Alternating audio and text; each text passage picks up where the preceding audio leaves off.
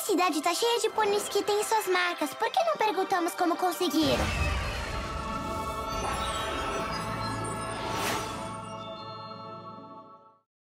Isso é realmente um sonho.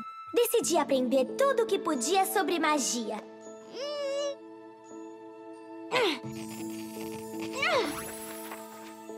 Meus pais decidiram me matricular na Escola de Jovens Talentos da Princesa Celestia.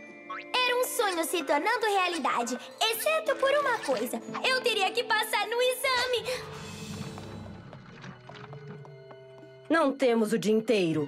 Eu sabia que era o dia mais importante da minha vida, que o meu futuro todo seria afetado pelo resultado daquele dia. E estava prestes a arruiná-lo. Sinto muito, me desculpem.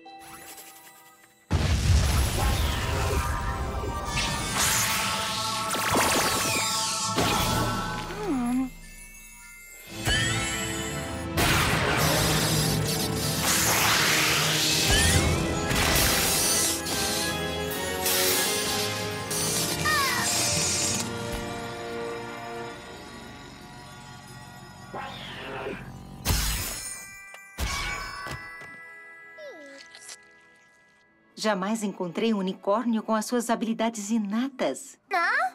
Eu gostaria de torná-la minha protegida aqui na escola. Sim! Outra coisa, Twilight.